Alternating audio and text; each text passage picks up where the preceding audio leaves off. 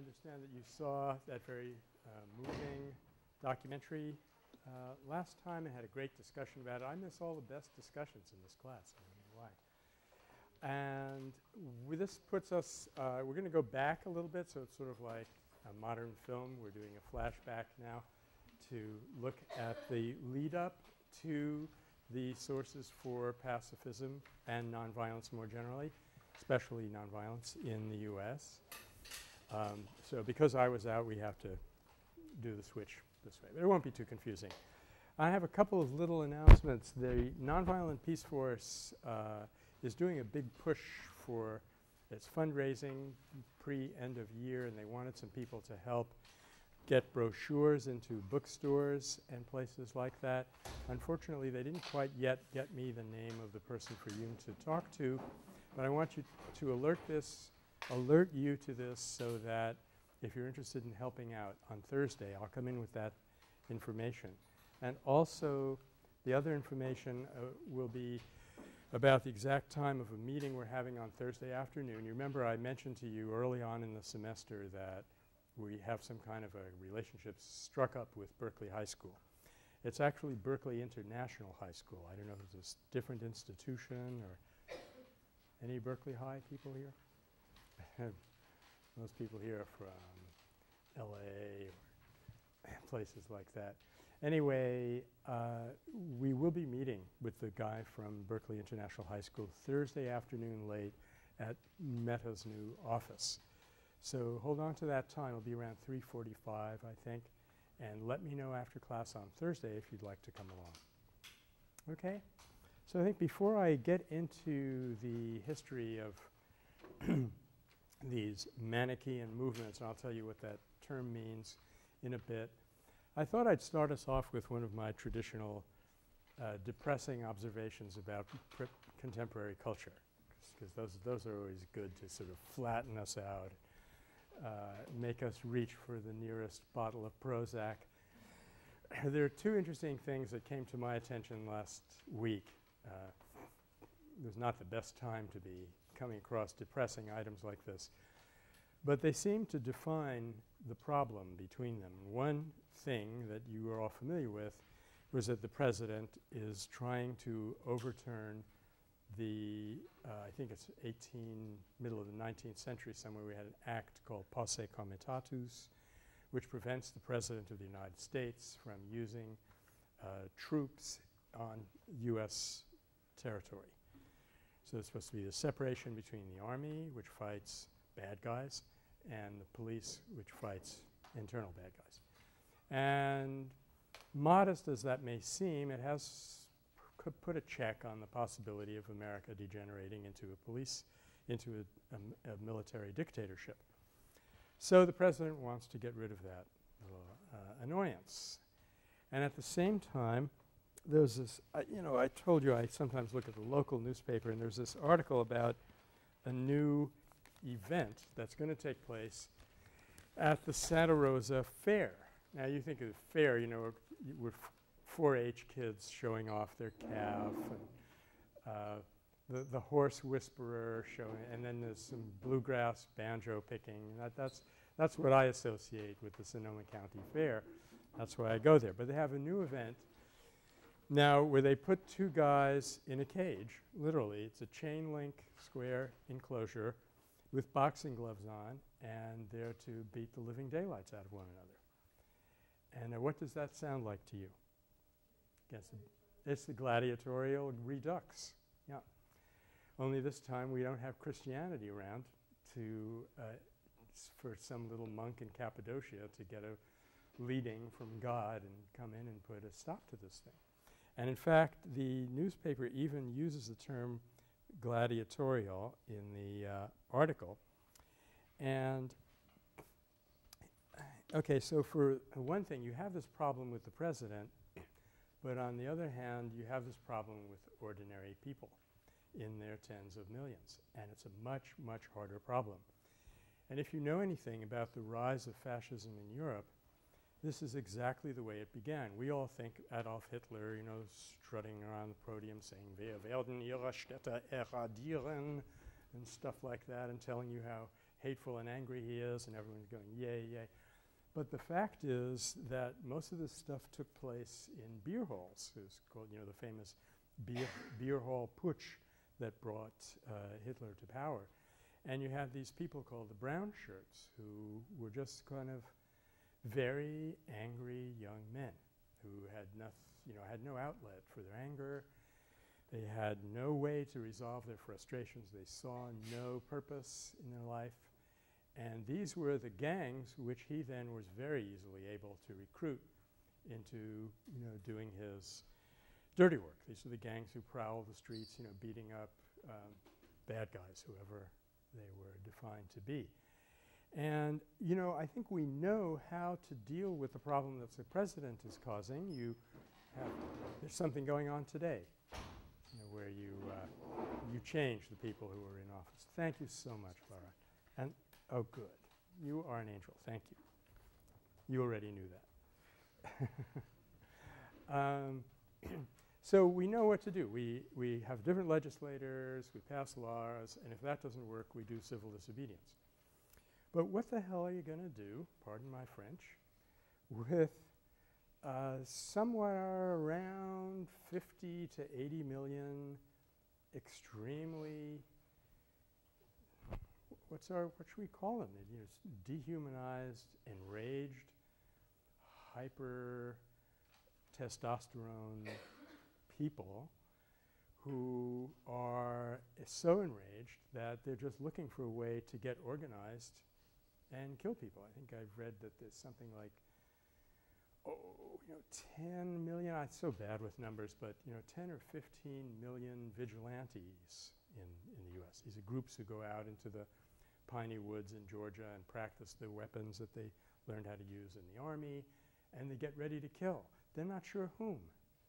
That's the funny part. It's as, you know, when we're talking about scapegoating, that it doesn't matter who the scapegoat is. You just got to find one.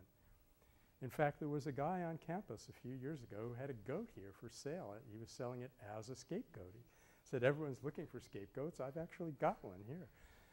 Um, so I'm making light of it, but it's an ex extremely dangerous phenomenon, and we're having exactly the configuration that you saw with the rise of Nazism in Germany, and it's not at all clear what to do about it. I think the one thing that can be said about the brown shirts, whatever we shall call them in our own society, is that the only way we're going to fix that part of the problem is to change the culture.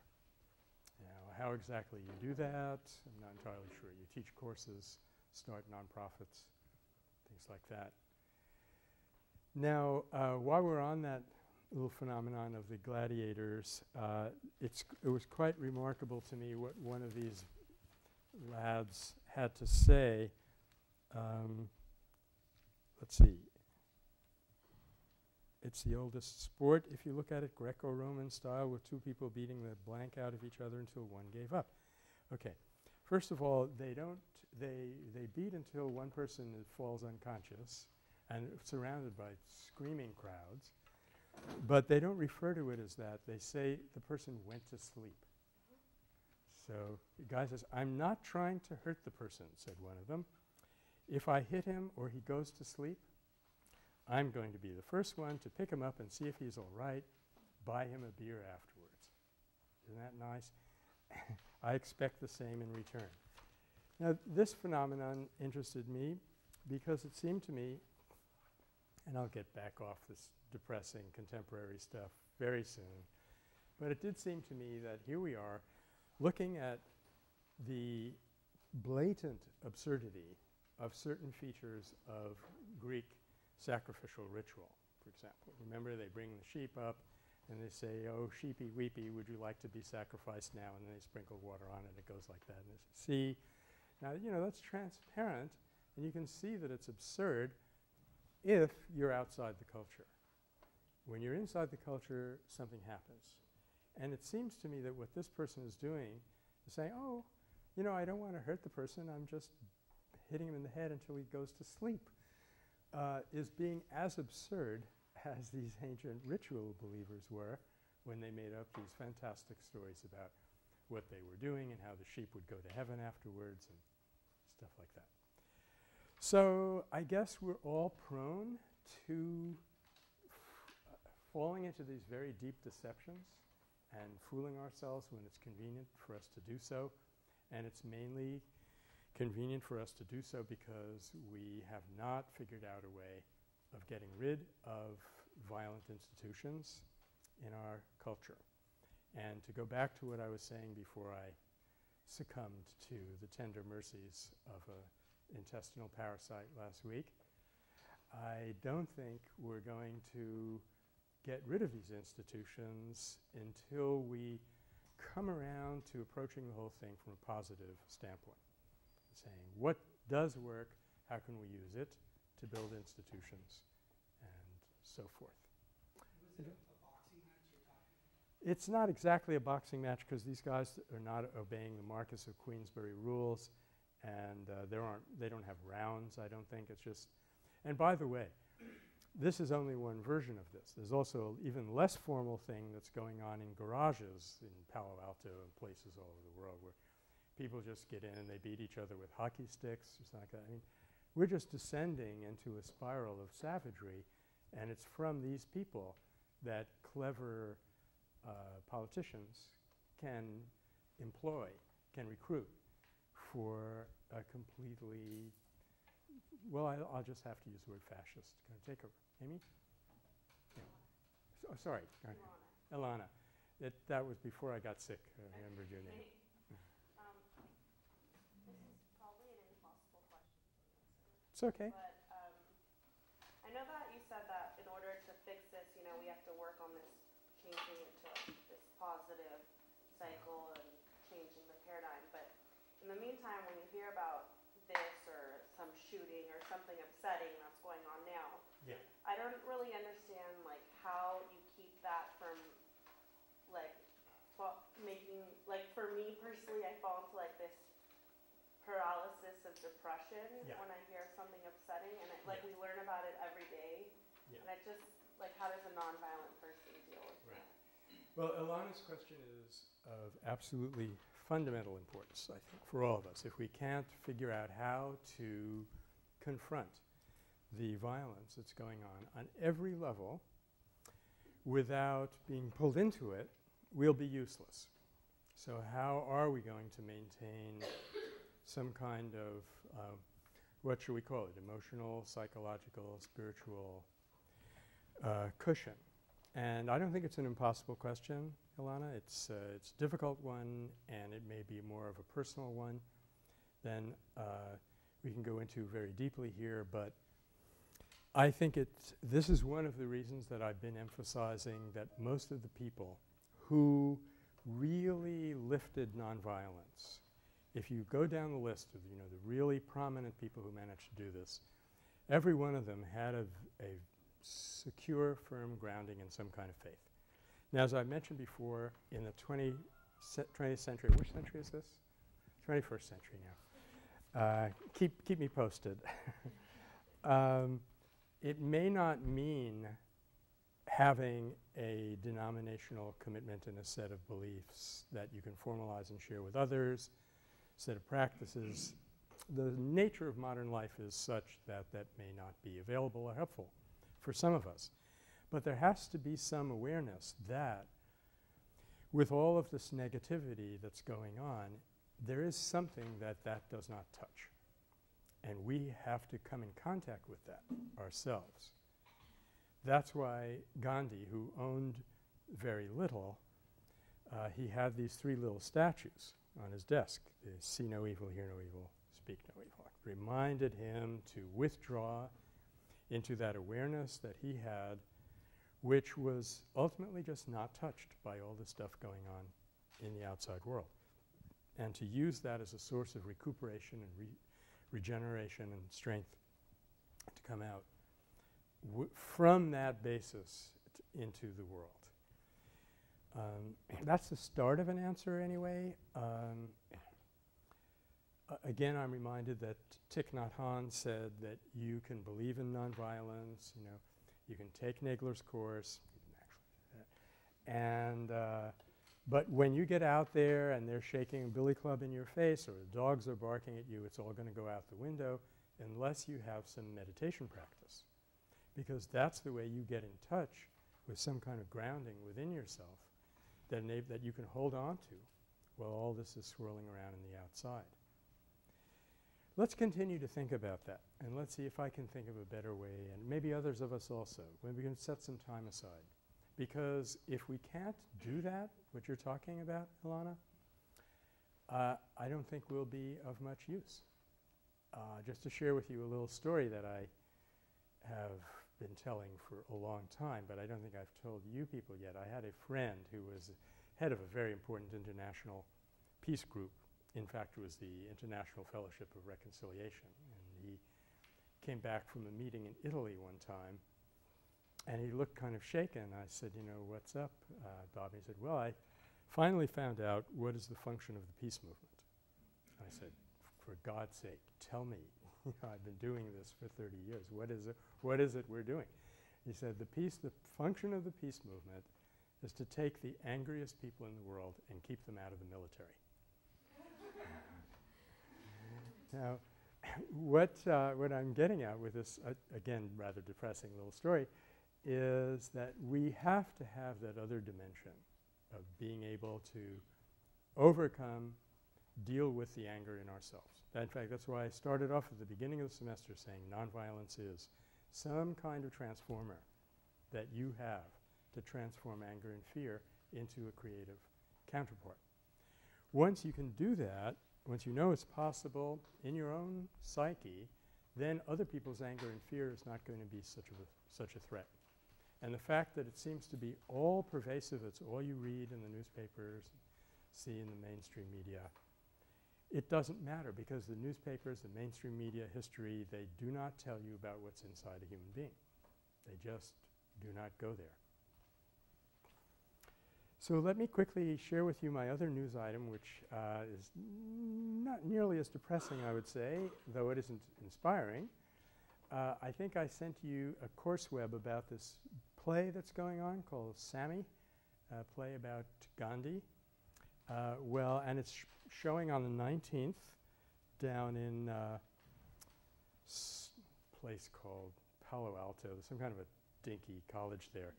Anyway, uh, it's on it's Sunday the 19th, and you know I was suggesting maybe we should all get together and go down there. We could visit the Martin Luther King Center at that that college, and uh, see the place. So anyway, there's a video of the play, and I watched part of this video, and I was a little bit disappointed, but in an instructive way. And that is that the character who plays Gandhi is completely wrong He's just completely out of character. Uh, he's more like a Noel Coward comedy. There is, when was thinking about what is missing, absolutely not a trace of gravitas and no strength. No strength of character. You Gandhi without strength is sort of like, you know, physics without Einstein. Uh, he's a very clever little twerpy guy with lots of fast lines, and uh, he, he comes across as a weirdo of some kind. And uh, this is, a, this is an entirely Indian production. This, performance was in Delhi. So I'm going to watch the rest of it and see if it gets rescued at the end. If it isn't, I'm not going to recommend that we go down and see it. Maybe we should go down and protest. That would be a good idea. Your Gandhi is not our Gandhi, something like that. but, I, but I was thinking, now, what if, if I were uh, very good, you know, have a very good life, and I can be reborn as a sociologist. Would that be wonderful? How would I analyze this? I would draw, draw one of these diagrams that sociologists are so good at, and I'd say, look, we have two variables to talk about here. People can be kind or unkind. This, of course, is an oversimplification. That's what sociologists do. Sorry. And you can be strong or weak. And if you think about what happened with this play, uh, we know that you can be kind and weak. That's what this person really was portraying. So he was all about. We, of course, know that you can be unkind and strong. Uh, right right now millions of our fellow Californians are voting for a person who's unkind and strong because their main criterion is strong. and uh, of course, you can be unkind and not have much that you can do about it. You know, be unkind and weak so other people will fix you, take care of you. But it's like we don't have a check mark in, in this box. The idea that a person can be kind and strong, it's not in our mental framework somehow. So when they think of a, a play about the life of Gandhi, obviously he has to be weak because that, that's the only box that's left. So this is what we really have to fix. We have to, when we talk about fixing the culture, coming in from a positive standpoint, we have to establish the idea in people's minds that you can be very strong and yet kind. In fact, you really cannot be kind unless you're strong. That's the simple secret. Okay, so thank you. I always appreciate your letting me uh, vent off all of these frustrations that I accumulate over the weekend, and of course it's been very frustrating and a longish weekend. So now let's, uh, oh, let me just share with you one other thing real quickly on this, this box. You know, we had this president who had been a movie actor. I'm not going to mention his name. he uh, played opposite a chimpanzee at one point. he he had a slogan, peace through strength. And I was writing op-eds in that period, and I said, this is exactly the wrong approach. What we need to look for is strength through peace. Peace is strong. Establish peace, we'll get strength out of it. So I wrote an op-ed called Strength Through Peace, and it was published. But guess what happened?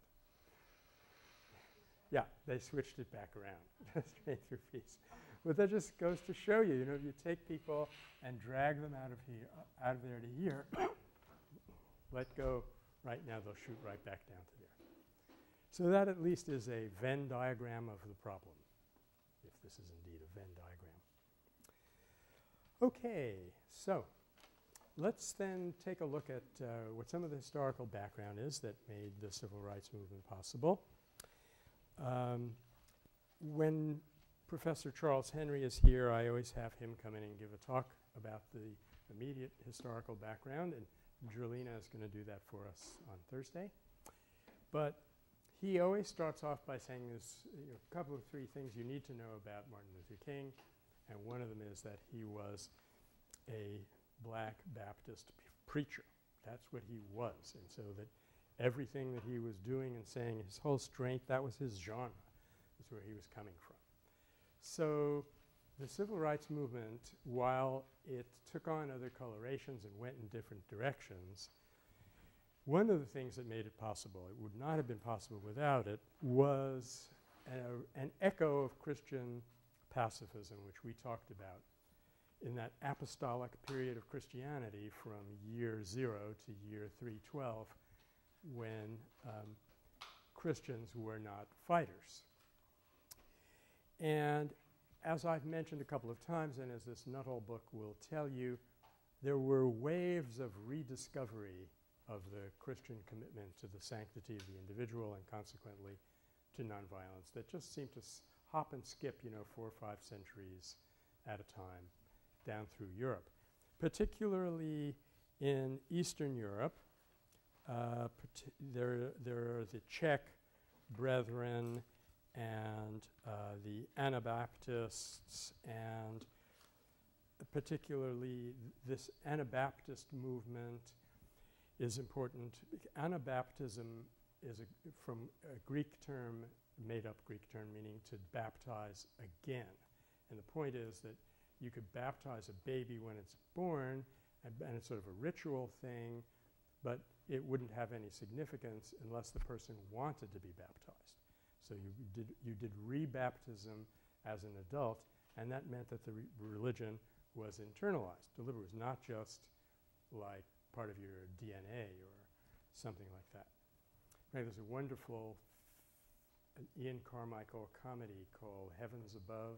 I've seen all the Ian Carmichael comedies, almost all the movies that I've seen. and in this one, he plays the part of a country preacher. He's actually Jesus who has come to be a country preacher somewhere in England, and he's baptizing all of these adults in an English church. He, what he has people do is talk about, list off their sins. You can remember like that red book survey that we talked about. Really serious sins like wearing lipstick in church to not so serious sins like participating in war and things like that. You list them all off, and you're supposed to say, I renounce them all. And there's a simple woman there who is not hearing him very well, and she very she smiles and says, I announce them all. Anyway, from this uh, Anabaptist movement, which goes back and is sometimes put under the category of Manichaeism. Um, I'll just tell you a very little bit about that.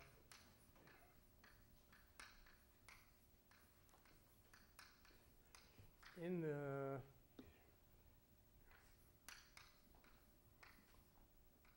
okay, that's the two terms. About the middle of the third century of our era in what is now Iran, uh, there was a charismatic by the name of Mani who claimed that he was Jesus or he was the next Jesus. I'm not sure exactly how he put it.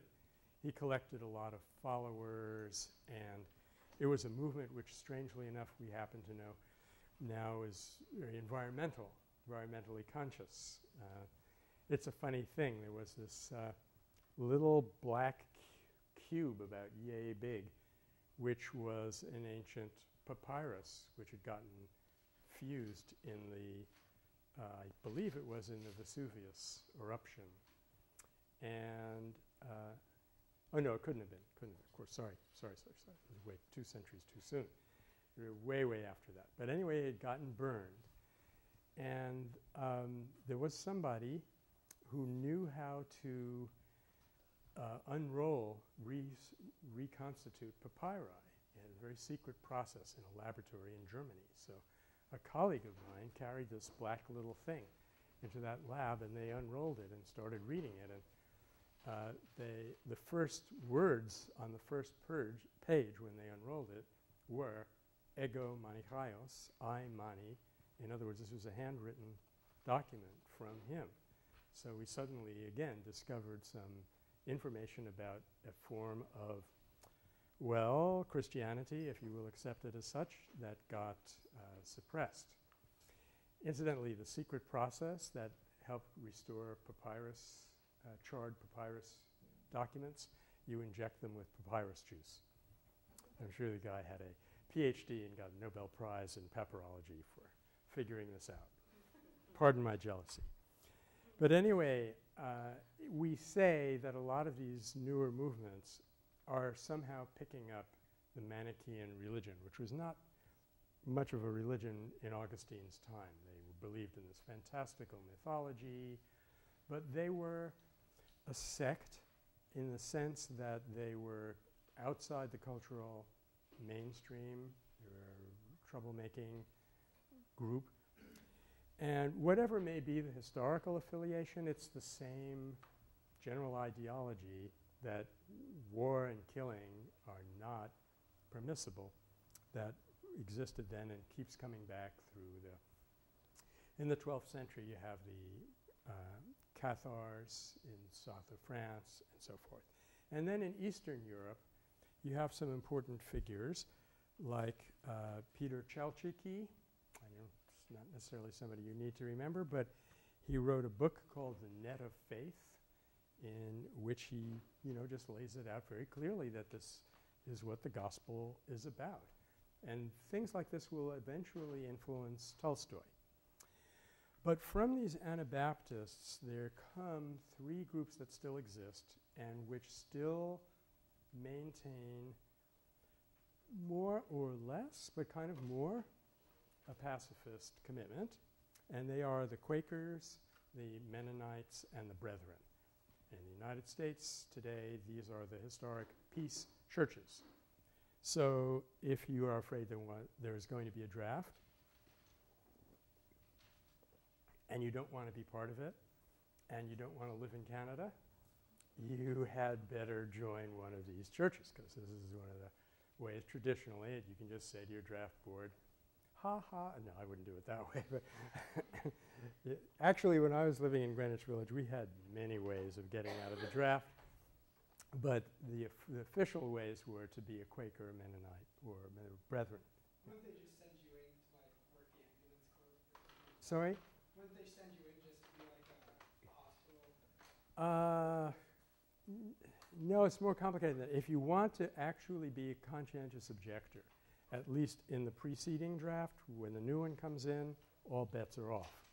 You know, they'll consult with some of our dear colleagues in Boalt Hall, and all these rights will be abrogated. But if you wanted to be a conscientious objector in World War II, the only way you could do that was on grounds of religious conscience, faith. And you could do that automatically if you were a Quaker. If you were not a Quaker, which I was not, then you had to argue yourself blue in the face explaining that it's against your conscience to kill people. And you had to convince the board. But once they drafted you, they would do with you what you would. In fact, the Quakers in America had a lot of difficulty. I'm skipping ahead a little bit. The Quakers in America had a lot of difficulties during the uh, Revolutionary War. There was a largish uh, group of them that were physically dragged out of their homes, I think in Pennsylvania, and were sent to Valley Forge with rifles, muskets strapped to their backs but they refused to use them. They refused to give in in any way. And I, to his credit, I have to say that when George Washington found out about it, he immediately released them and sent them back. so the, uh, of these three groups, the Quakers, the Mennonites, and the Brethren, the Quakers are particularly important. And it's that group I'm going to focus on. They're important because, for one thing, and this is a direct quote from Peter Brock, that Quaker, uh, he is a Quaker actually, a Quaker Canadian historian that I told you about. The Anglo-American Society of Friends, otherwise known as the Quakers, presents the only example so far of a major pacifist group which made the transition from sect, that is from a countercultural group or movement, to a denomination without eventually discarding its pacifism in the process. But he goes on to say that the North American Mennonites are possibly going to be another. Actually, the Mennonites have been very effective and very useful in the last uh, 20 years or so in the area of third-party nonviolent intervention. Um, before I go into the history of it, I'm going to just continue telling you why they're such an important outfit. For one thing, they get away from legalism and gospel literalism, and they rely upon what they call the inner light. Now, there still are Quakers today. I think there's uh, a little over 200,000 of them worldwide, so, you know, uh, probably your, your local megachurch has more people in it than the entire Quaker movement. But um, they've been very much more effective than the numbers would indicate. So one of the characteristics that's made them so effective is this inner light belief that they have that you should do what you do, you should stand up for what you stand up for because it is revealed to your own conscience and not because you read it in a book or the society thinks you should or something like that. So if you've ever been to a Quaker meeting, are there any Quakers here, by the way? Given 200,000 out of 6 billion, it's not likely that you'd get any in this class, even in Berkeley. But if you've ever been to a Quaker meeting, Quaker meeting for worship as opposed to a Quaker business meeting, they will sit in silence and wait for some sort of what they call uh, leading or guidance or some sort of light. And then they will.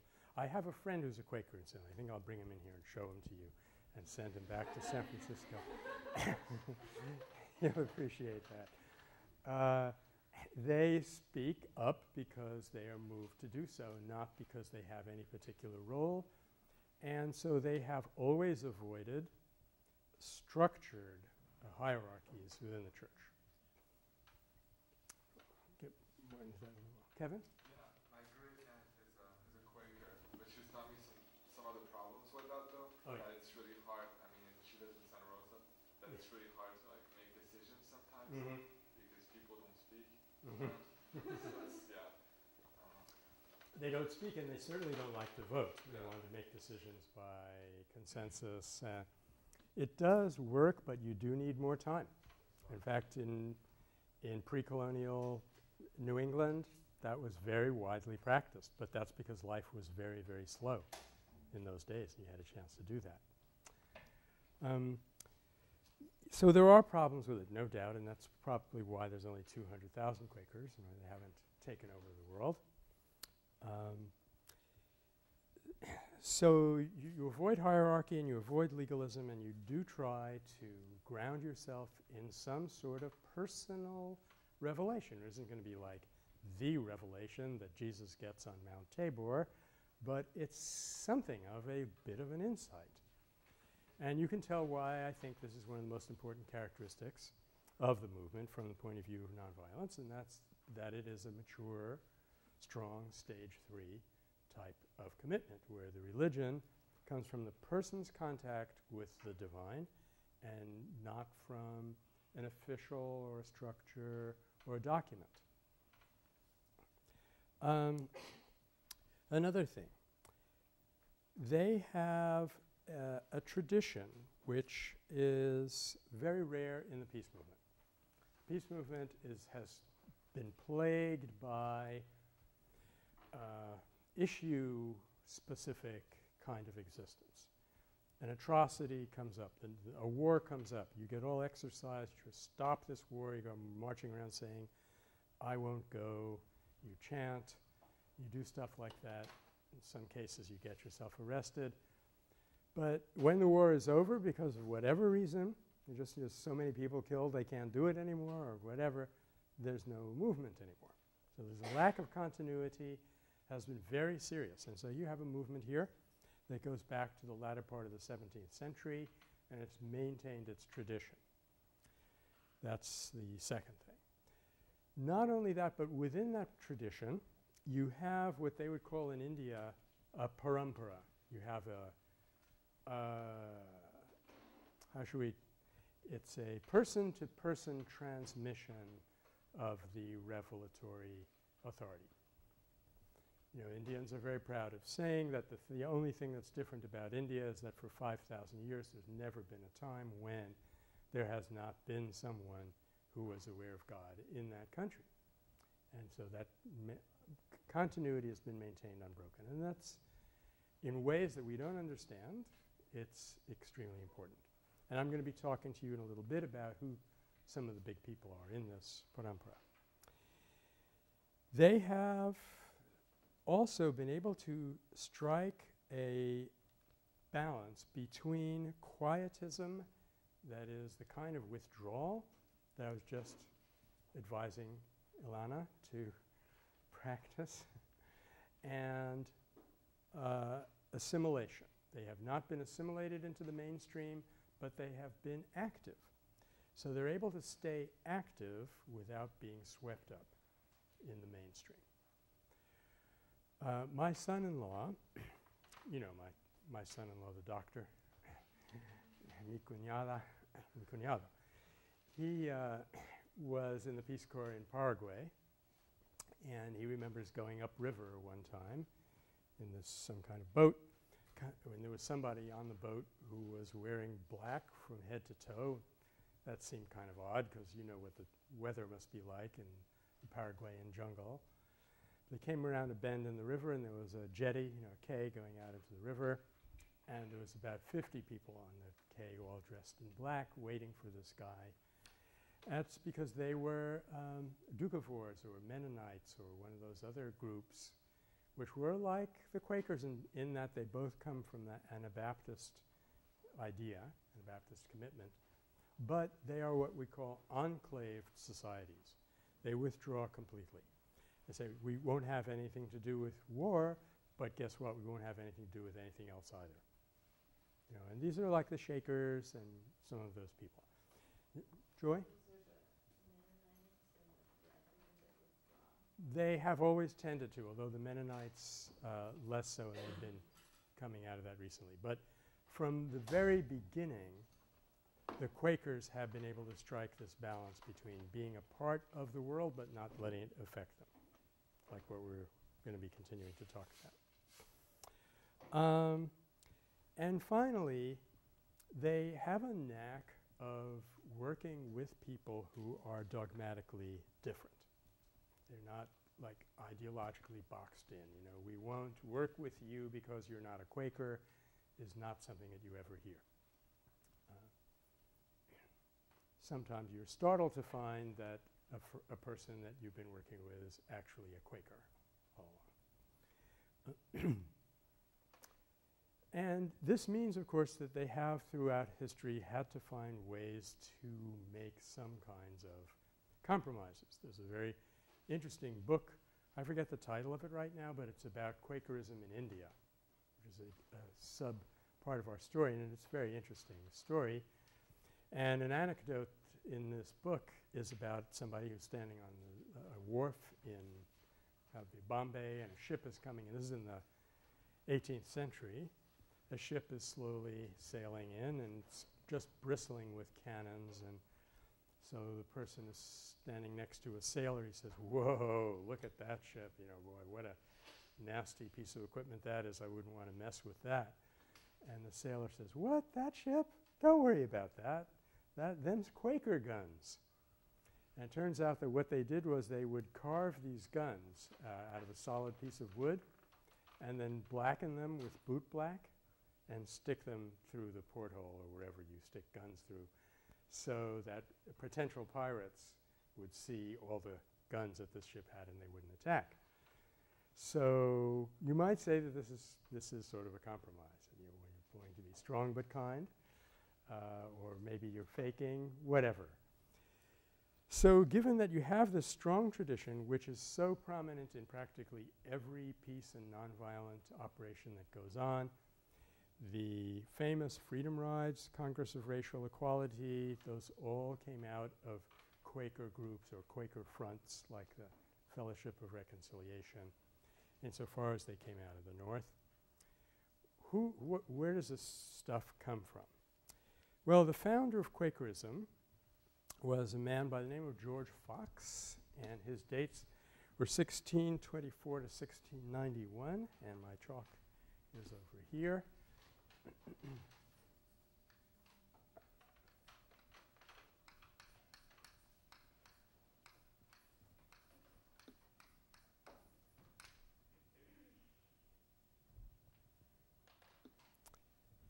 he was born in a little village called uh, Drayton under the Clay. You have to really be English to a little village like that you know, I'm born in Brooklyn, you were born in LA or someplace, but he was born in Drayton under the clay. And he was the son of a weaver, so he's from an artisanal caste. He seems to have had some sort of education. He was able to write. And by the way, I, I do also equate those two things in my mind. And he seems to have had a reasonable amount of money. He, I mean, modest, but he could get along. He could, he could buy a horse he'd get married. Uh, he uh, apparently was tended sheep for a while, was apprenticed to a cobbler. This was a century of tremendous spiritual upheaval. We're, we're, heading into the Cromwellian Revolution, uh, the Restoration. And George Fox was tormented uh, as a young person, he was tormented by the evils of the world. And if you, you think it was bad then, you know, it's, it's a good thing he's not around now. Uh, and as he writes in his journals, he got a sort of revelation. A voice came to him saying, There is one, even Christ Jesus, who can solve your ills or heal your wounds or something like that. And These things I did see, I did not see by the help of man, he writes, nor by the letter, though they are written in the letter. Now, this is very typically Quaker. The Bible is a truthful document, but don't think that it's going to do it for you. Uh, but I saw them in the light of the Lord Jesus Christ and by his immediate spirit and powers, as did the holy men of God by whom the Holy Scriptures were written. In other words, this is a person who believed that he was in some way working his way back to the uh, apostolic era, and he managed to make himself incredibly obnoxious by doing that. Uh, he caused so much trouble. Is not unlike uh, Abdul Ghaffar Khan. He spends about a, between a third and a half of his life in prison. Uh, British prisons in the 17th century had run on a very bad institutional idea, which we're now bringing back, and that is they were privatized. Well, they didn't have to be privatized; they were private. So people would buy the rights to house prisoners from the crown and exploit them, you know, and not feed them unless they paid you and things like that. So he had a magnificent constitution, traveled incessantly, not only up and down the British Isles, but he went to Holland, Germany, and he came to the colonies. Uh, but eventually he broke his health. Uh, he suffered eight imprisonments between 1649 and 1673. Now, how did he get himself in prison so often? Well, one thing he would do is he would go to churches, and at the end of the sermon, he would challenge the minister. Now, in those days, there wasn't any separation between church and state, and that was one good way of getting yourself uh, imprisoned. You could also get yourself very badly beaten up that way if, if that was what you wanted to do. But he would challenge these people and say, look, are you standing in the light that St. Paul stood in? And the person would say, no, I, you know, I, I have a degree from Cambridge. and George Fox said, you know, would expose this person and take everybody out of the church. By the way, he wouldn't even call it a church. He called it a steeple house. Churches was the community. A building with a steeple on it was not a church. So he would take all these people and go up to a nearby hayrick and give them this really inspiring sermon. And he, uh, he would not comply with social uh, norms. He didn't like them. So he called everybody thee instead of saying thee and thou to subordinates or close friends and saying you to people who were superiors. So all you had to do to throw George Fox into prison was to call him in for questioning. And he, he didn't wear the right kind of hat, and he didn't say the right stuff, and didn't believe the right things, and they, you could throw him in the, in the clink. But he was nonetheless a tremendously charismatic and powerful person. In 1651, on one of his episodes of being in prison, when the wars of the Restoration, the pre-Restoration were, were raging, there was a group of soldiers that needed a captain, and they, they offered George Fox that they would buy him out of prison and give him a preferment, make him a captain of horse if he would lead their troop. And now, I mean, just imagine, the guy is up to his knees in sewage with rats swimming around, and it's dank and never sees the light of the day and they're offering him, you can come out. We'll give you your freedom. All you have to do, is cash in your conscience. And in the words of another English writer from that period, I would rather suffer the rest of my days in jail than make a butchery of my conscience. And it's on this occasion that he reads them the famous uh, testimony. I don't need your preferment, he says, because I live in the virtue of that life and power that taketh away the occasion of all wars. This is going to be a really important element of the Quaker faith to live in such a way that you are not a war causer in your daily habits, one kind of habits or another, as we will see. And this is very important because this is one of the first times that this connection is being made. And he goes on to say, I am come into covenant of peace which was before wars and strife. In other words, that he believed that peace was a primordial condition, that human beings can regain it, and when they did and live in accordance with them, with that state, they no longer were causing, were they were no longer participating in the causation of wars, and therefore they could say to the state, we don't owe you, we don't want your protection, and we don't owe you any service. Um, finally, this, uh, let me just find it here. This belief of theirs was formalized in what's called the Richmond Declaration of Faith, and that took place in 1659. Um, let me see if I can find the exact words or just I'll tell you most of it. Yeah, here we go. This was their protestation, George, George Fox still being alive. We utterly deny all outward wars and strife and fighting with outward weapons. Okay. One of the things that I forgot to tell you, because I guess I was already getting sick, otherwise how could I possibly have made such a slip, when we were talking about Islam. I was going to talk about this notorious concept of jihad. You know, we talk about people being jihadists and so forth, and what Westerners think jihad is, is a commitment to wage outward war against infidels.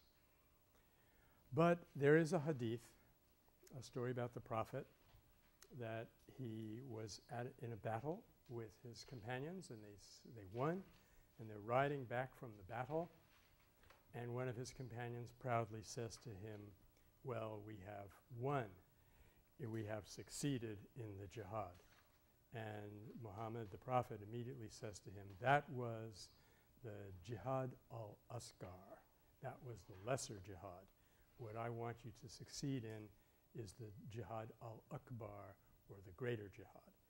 And what he meant by that was the jihad al-akbar, the great jihad, was the inner struggle, which is not against others, but against negativity, anger, fear, so forth, greed in ourselves. So when the Quakers declared in Richmond in 1659 that they were opposed to all outward wars, they meant, no thank you, we're going to struggle with the forces of evil within ourselves and not against other people. And I guess there is nothing that we could say is more fundamental to nonviolence than that. The, the basic commitment to violence is fight against bad guys, never against yourself. You know, kill 650,000 Iraqis to bring them democracy, but let's never talk about what you're doing to democracy in your own country. That's the ultimate characteristic of all violence. And conversely, the characteristic of nonviolence is not that only that you avoid outward struggle, but that you undertake inward struggle. And that takes up all of the time and energy and uh, effort. So to continue with this famous declaration, we utterly deny all outward wars and strife and fighting with outward weapons for any end or under any pretense whatsoever. The Spirit of Christ by which we are guided is not changeable so as to command us from a thing as evil and again to move unto it. In other words, the commitment has got to be absolute in terms of this declaration or it doesn't make any sense. And we know that the Spirit which leads us into all truth will never move us to fight and war against any man with outward weapons, neither for the kingdom of Christ, it's very important, nor for the kingdoms of this world. Whereas what's inevitably going to go on if you compromise this commitment is you're going to fight for a kingdom of this world and pretend that it's for the kingdom of Christ. Why? Because I said so. But look at history, and I think that's what you'll see. So, um, let's see. I'm going to try to talk about all three of these people today, so I've got to make this a little bit uh, quick. eh, the Quakers were severely persecuted by the Anglican uh, Church, and that's one of the reasons that they came to this continent where they didn't always fare much better. There's, if you ever go to Boston, there's a statue in Boston Common of a woman named Mary Dyer who was hanged there in the 17th century just because she was a Quaker. Um, on one occasion, this, this again it's uh, anecdotal, he was in Virginia talking to a Virginia planter, excuse me, a Virginia planter who, and they were arguing about whether Native Americans have souls. and uh, uh, George Fox was getting very upset by this line of argumentation, and he called over. Uh, there happened to be a Native American person standing there. He called him over, and he said, "Tell me, uh, do you ever tell a lie?" And the Native American person said, uh, "Yeah, you know, sometimes I guess I do." And Fox said, uh, uh, well, how do you feel about it? And he said, ah, not, not so great. You know, I, I really don't like it, actually. I feel terrible. And then Fox turned to this Virginia planter and said, see, that proves that this person has a soul. There's he, he has a conscience. So what we're looking at is not just a rejection of, quote, outward wars and so forth, but a rejection of every aspect of violence. That's the one really uh, inspiring characteristic about George Fox is holistic. He's completely a person-based person who's against violence in any way, shape, or form. And the Quakers, incidentally, they got this term because they had these revivalist movements where they would get the spirit and it would cause them to quake. So people call them Quakers as a term of uh, deprecation and insult, but they decided to adopt it, which again is a pretty nonviolent thing. There are many letters and replies in Gandhi's newspapers where someone will send him a very angry, insulting letter and he'll say, hmm, that's interesting. It looks like this letter was intended as an insult, but I'm not going to take it as such. And he would go on from there. Um, where was I? Oh, yes, this phrase of theirs, which is probably, if we had to sum up one thing, very important. There is that of God in every man.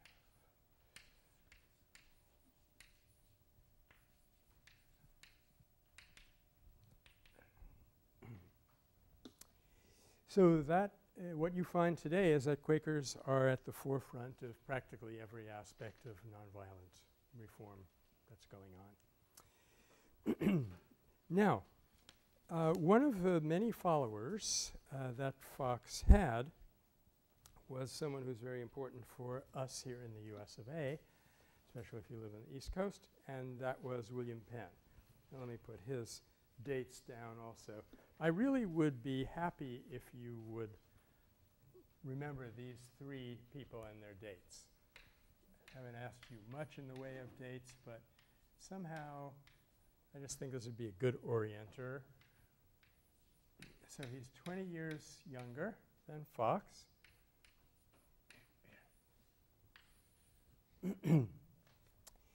and he comes from a very different background. His father was an admiral, and in fact, his he, had uh, won uh, a very important battle uh, against the Irish uh, for Charles II. And therefore, Charles II owed him a lot of money, much more money than he could possibly pay. So instead, he just gave him a little possession. This little possession is what you and I now know as Pennsylvania. And that was in March of 1681, where William Penn was sent to the colonies to become the governor of this vast tract, which is more or less modern Pennsylvania.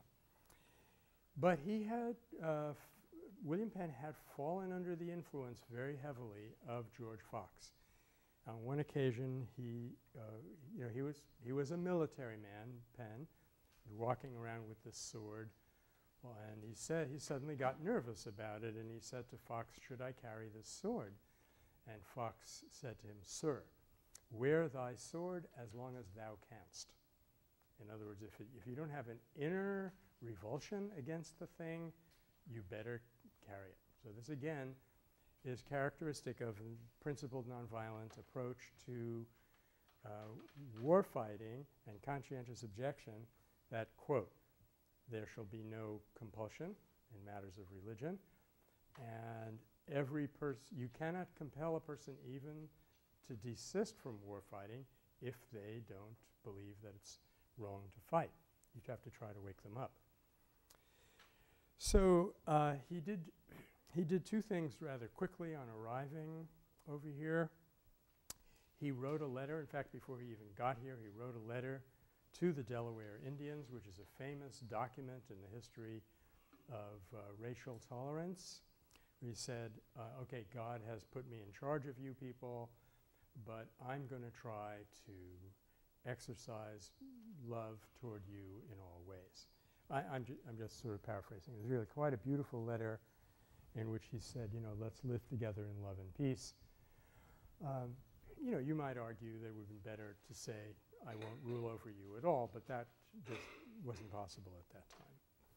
So there's this famous letter of toleration towards the Indians. And in December, on December 7th of 1682, and I recommend that this December 7th be celebrated instead of December 7th, 1941, or whenever that was, 42, um, Pearl Harbor. Uh, he promulgated what was came to be known as the Great Law. And the Great Law was about as nonviolent a set of regulations as you could possibly imagine, especially for that period. The there are only 12 capital crimes. You might think that's 12 too many, but remember you live in the 21st century, right? This is the 21st century. And he's, he's working in the 17th. And uh, at in England at that time, there were 200 crimes that were punishable by death. You know, things like stealing and debt and swearing and drinking the wrong kind of beer and things like that. So to reduce it from 200 to 12 was a big deal. He also, this is so far ahead of his time, it's almost unbelievable. He tried to so organize the penal system that people would not be put in prison for debt, and people who were put in prison would be enabled to find employment of some kind and make reparation for their crimes and work their way out of it. Another part of the Great Law was complete religious tolerance. And let me remind you, we're talking about 1682, so these people were way ahead of their time. And this led to what has become known to American historians as the Holy Experiment. It lasted about 75 years. Yeah, in fact, uh, it, Penn called it a holy experiment. He said there may be room here. Sorry, when he was in England talking about setting up an ideal Christian commonwealth in this country, well, it wasn't a country yet. He said there may be room there, though not here, for such a holy experiment. Um, he also, um, I'm not getting the exact years of, of these. Well, it would be from about 1682 down for the next 75 years, slightly past the death of William Penn. Basically, the entire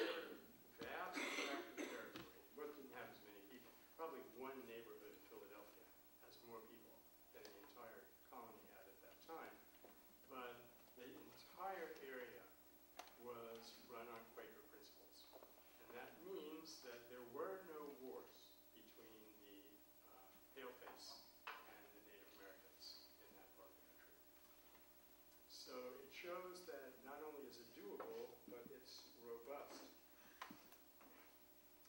Uh, a Quaker historian, and there are lots of them, by name of William Dymond, said, the only natural opportunity the Christian world has afforded us of ascertaining the safety of relying on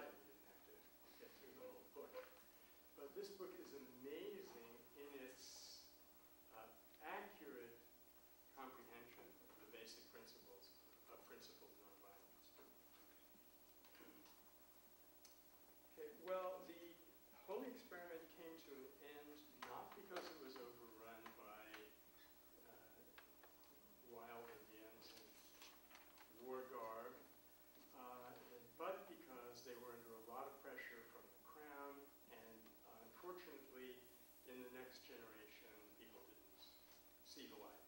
They didn't uphold the values. They decided to use their power to cheat the Delaware Indians, and uh, in a short period of time, Pennsylvania more or less joined the mainstream, though you still have a city called the City of Brotherly Love in that state. There's probably more Quakers per square inch in Pennsylvania, if not Philadelphia, than anywhere else. Just to share one other story with you of that, that pre-colonial era. Uh, we don't know exactly when or where this happened, but there was a Quaker meeting for worship, and they were sitting in their rough log cabin with their eyes closed, not saying anything when there was a war party of Native Americans sneaking up on them, decided to uh, attack and scalp and do all those things that these people did, according to Hollywood anyway. And when the, when our friends, capital F friends, opened their eyes at the end of the meeting and turned to leave, they were surprised to find all of these Native Americans sitting there with their eyes closed, all dressed up in war paint with their tomahawks by their side. And so they said, oh, um, hi, uh, what are you doing here? And they said, oh, well, we came here, excuse me, we came here to kill you. But uh, when we saw that you were worshiping the same great God that we worship, we just decided to join you. so, again, you can be kind and strong. You know, we don't put an X in that check the check mark in that box. Now, the third, oh, it's, it's kind of a shame we only have 10 minutes for him because he's a really sweet guy.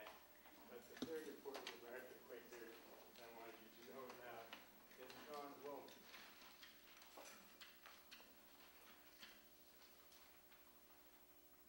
That's, it, that says John. And his dates are 1720, so there's not quite any overlap, to 1772. And we're back in the simple artisan caste. And if the big lesson that William Penn imparts is that it's possible to have nonviolence from the top down. So this gets back to my famous formula.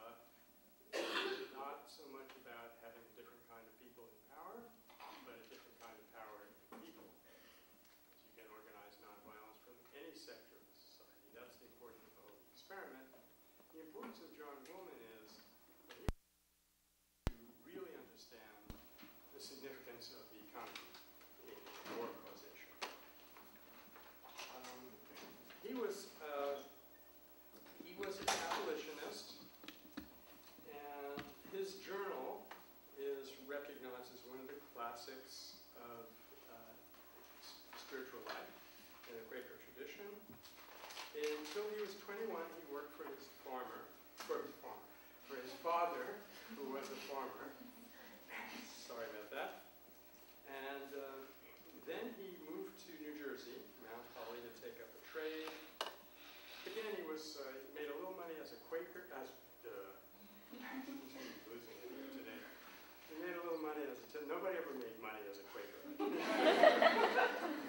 Soon make money as a professor. Uh, as a tailor, I meant to say, you can make money. Uh, he started that in 1743, uh, but he could write, which not everybody could do, and so he uh, offered, he, he also had work as writing up doc, legal documents for people. And in 1743, he was asked by his employer to write a bill of sale for a slave. And that faced him with a quandary. Again, the famous not ability of nonviolent people, when they cling to the principle, their ability to compromise on inessentials, even though these inessentials freak us out and we say, oh, you should never do that. We say what he should have done was throw down his pen and say, I will never work for you again. You know, the hell with this, I'm going to get an honest job in a nonprofit in San Francisco. Leave. But he didn't do that. He said, okay, I'm your employee. I don't have the, do not have the right to tell you what to do. I don't have the right to refuse. So I am going to write this bill of sale for you, but then our relationship comes to an end. I'm not going to do this kind of work anymore. And he spent the rest of his life uh, mainly working against slavery. And I'll say something about that in a second, but he also had a wonderful relationship with Native Americans. On one occasion, there was a, there were rumors that there was a war party. So he and a friend decided they would just walk into Indian territory, contact those people. Hey, what's your problem? You know, do a real Johan Galtung approach to them. Uh, and he found himself in this little hut, and sure enough, a Native American person came in with a very nasty looking tomahawk, his belt, glowering at him. And George Fox got up and smiled and embraced him, sat him down, and tried to have a conversation, which wasn't all that easy because they didn't have a common language. But, you know, me, John Woolman, you know, whatever. And, uh, and then, then the person got up and left, and then he went to turn, look at his friend, who was terrified. And the friend said, didn't you notice that he had a tomahawk? And he said, he said, yes, uh, John Woolman said, it did have a rather disagreeable appearance. And it struck me that perhaps the person was frightened. So I decided to resolve his fears and show him that we were friends and he had nothing to fear from us. So I've been repeatedly admonished by friends of late to add, this does not always work. Don't go out and get yourself killed and say, Professor Nagler told me this would be all right. It doesn't always work. Something there that will always have an effect. Um, now, okay, so his approach, similarly to slavery, was unique. If you contrast him with William Lloyd Garrison or some of the later abolitionists, they were very anti-slaveholder. It got to the point where they were almost more anti-slaveholder than they were anti-slavery. Goes on today in some groups which are anti a particular kind of violent abuse. They get so angry at the abusers that it ends up not being a very nonviolent thing. We'll talk about that next semester. But um, he decided to do a remarkable thing, which was to go down south. It was not easy to do those days, and uh, talk to slaveholders. Some of them were Quakers. Take him in. And he would uh, stay with them, and he'd say, let's talk about this slave thing. Why do you do it? And they would explain. It's the only way we can get enough cotton picked to make money. And he would actually enter into discussions with them about how they could make a substitute livelihood. So in other words, he's seeing it from their point of view, acknowledging that they have a difficulty, and trying to work with them to see if there's a better way to resolve it. So it was entirely constructive, positive, creative way to approach the slaveholding issue. Um, the other um, commitment that this led him to, and this is, you know, really is one big significance for us, is to see the economic connection. And he writes